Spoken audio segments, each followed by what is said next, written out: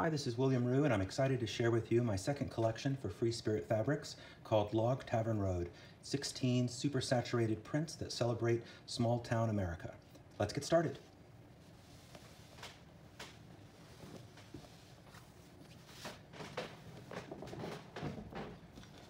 The main print um, is called Milltown. This is um, the starting print that we made that had a lot of line work, a lot of super saturated colors with orange and pink and red.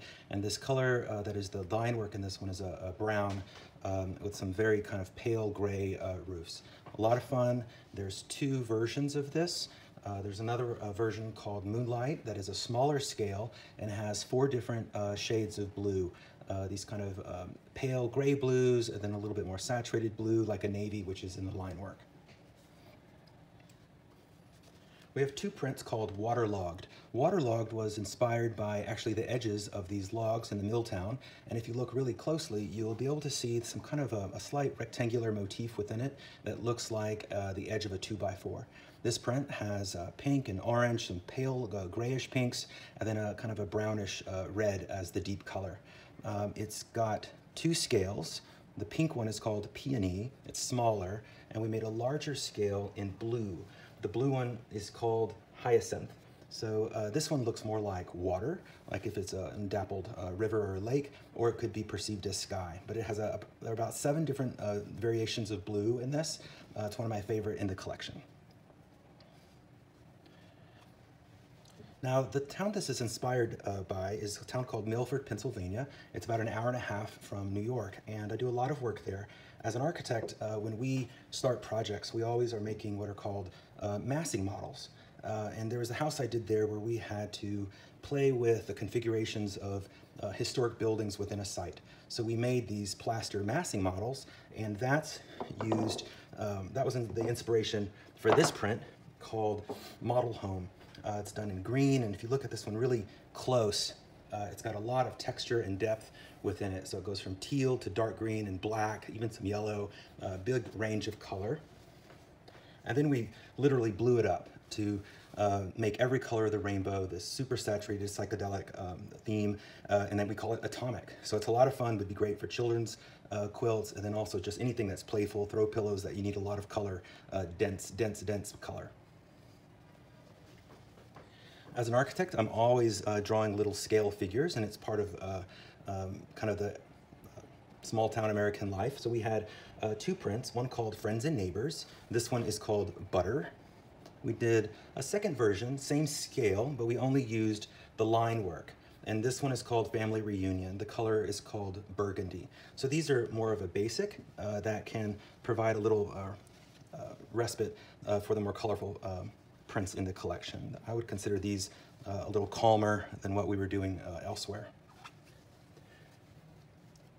And one of the things that I always uh, like when I'm traveling in the United States is when you fly over the Midwest and also the West, you see these irrigation circles. So small town American life has tons of farming, and so that's uh, what inspired this one. These are called crop circles. This is probably um, one of the earliest prints we made in the collection where it has these uh, little circles, and you can see they look like little farming plots, uh, but they're not just green. There's uh, little bits of burgundy uh, played against the, the, blues, and then some ochre. So there's a big color range within these. This green one is called Spring, and we made a version called Autumn. So if you ever see me wearing a crazy shirt at one of the quilting events, it's probably gonna be made out of this one. The repeat on this one is very, very big, so you, you can use it as a quilt back, and it looks like um, the pattern never repeats. Um, there's probably uh, an uh, infinite number of colors in this one, uh, one of my favorite prints in the collection. Now we push the crop circles motif to a larger scale to almost create this watercolor type uh, print. This one is called Watermark and the color is called Ink Wash. if you look at it very closely, you'll see that it looks as if the ink, it's kind of ink stained. It kind of has this um, watercolor paper effect to it. Uh, really cool, really versatile, has a lot of beautiful colors, lilac, these kind of hot pinks, and then some really, really deep purples.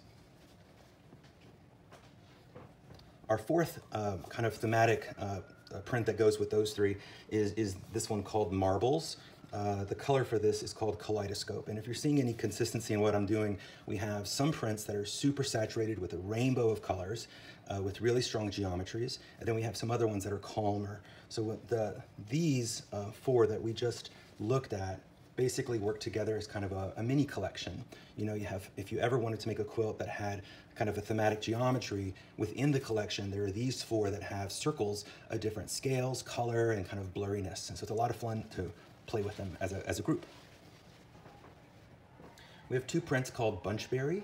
Uh, this is Bunchberry Scarlet. Uh, within this, you have pinks and oranges and, and dark reds. Uh, and if you look closely, you'll probably find, I think we did 32 of these patterns. They look like they're all the same, but they're actually hand-drawn and unique. So it, it kind of gives it a homogeneous feel, but also can make it look kind of hand-drawn. We did it at a, a, smaller scale. This one is called Indigo. Uh, it's a dark blue against a pale blue, uh, really pretty uh, calming print. On most of my collections, we're doing some type of stripe, and this one is called Homespun.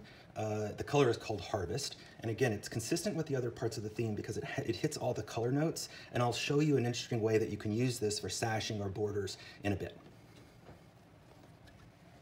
And our final print is called Sunrise to Sunset. Now it's hard to see this just because of the screen, but it goes from this beautiful red orange all the way to these, it looks like uh, gas flames, through, flips over and becomes a blue that then transitions into yellow. So this is an extraordinary uh, piece of fabric that I'm gonna show you some interesting ways you can use this. Um, I always am working on making the quilt fabrics that I want to play with in my own quilt making uh, that typically uses solids and, and, big geometries. And I'm always looking for some type of uh, uh, punchy print that gives me a lot of versatility against the geometric things that I'm working with. Now, I told you a second ago about the homespun. This, these pieces, this sashing, is basically cut from the homespun fabric. And within a, a small um, half yard, you get a lot of the sashing strips. Uh, so you might want to use it for that in addition to like a fill. But what's cool about it is depending on where you cut it, the nature of the fabric can radically change. So I'm showing it against red to kind of push that out as much as you can see. But this is the same fabric. This is the same material. It's called homespun harvest. And within that piece of fabric, you get such versatility. And that's what I wanted to show, show you there. Now finally, um, I wanted to show something I was working on. This is with the sunrise to sunset. Within that sunrise to sunset, you get, again, a very big range of, of design uh, possibilities. So I was working on these little bird pillows here. I don't know if you can get it all on the screen. But the idea was to use the pattern itself, the fabric, to kind of create a bird feather or um, some other type of motif in a different way. The circles could almost be interpreted as where the bird's eye goes.